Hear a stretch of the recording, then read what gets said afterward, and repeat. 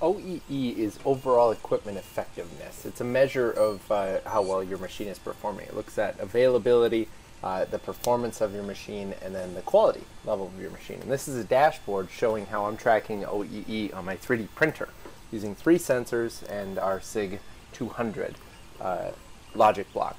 So here's the first sensor. This is looking for movement in the machine.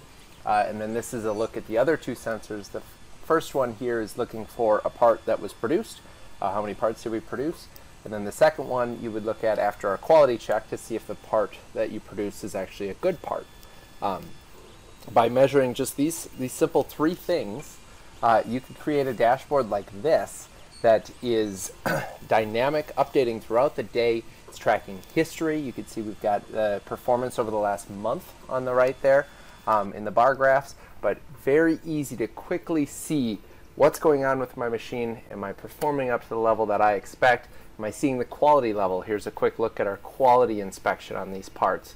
Uh, just to see if there's any issues. Do I need to improve the quality or do I just have to prevent that, that downtime? Or maybe I need to just run a third shift. Uh, it helps you make those decisions more quickly by measuring OEE dynamically.